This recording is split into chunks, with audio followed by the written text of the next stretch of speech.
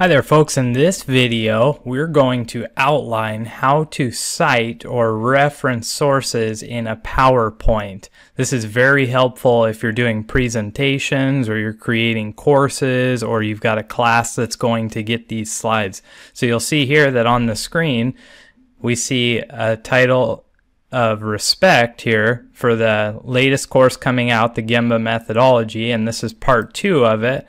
Be respectful and you'll see that down here in number, uh, let's see, one, two, three, four, five, our fifth bullet point, we've got a reference here from a Forbes article. so how do we give this person credit for his great writing and his ability as a writer and the things that he shared with us? Well, the first thing we need to do is we need to create a slide. And you see I already have mine created here and you'll just title it references. So if you haven't typed it in, just go ahead and type that in. And there we go.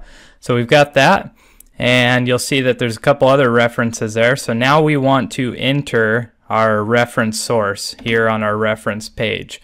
Now I like to keep a master sheet because Word lets you put um, in citations and they have formats that you can use so that you can use APA or um, any other type of MLA, any type of citation that you want. In this case, we're using um, APA.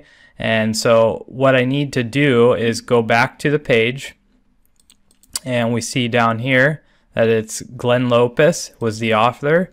So I will come back to my master sheet and I'm just going to grab all that information now, if you want to create a different type of citation, um, there's plenty of videos out there for it. In this case, we're not going to dig into creating that on Word.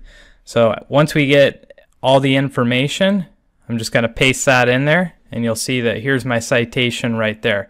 Now what we want to do is place a number. In this case, it's going to be number 3 because we've used up to number 2. So number 3.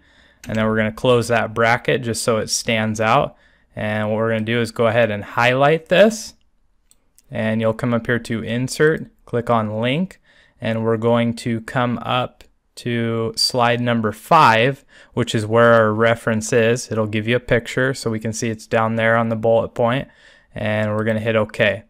Now you'll see that that reference is created right there. So now we want to go back up to slide number five, and we want to highlight this right here.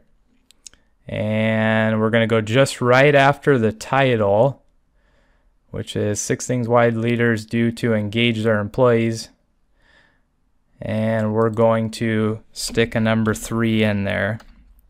And of course you want to match your citations up so that the symbols all look the same. We're just going to highlight that again we're going to click on link and then we're going to come down here to the references, click on that, and voila, we've got it right there.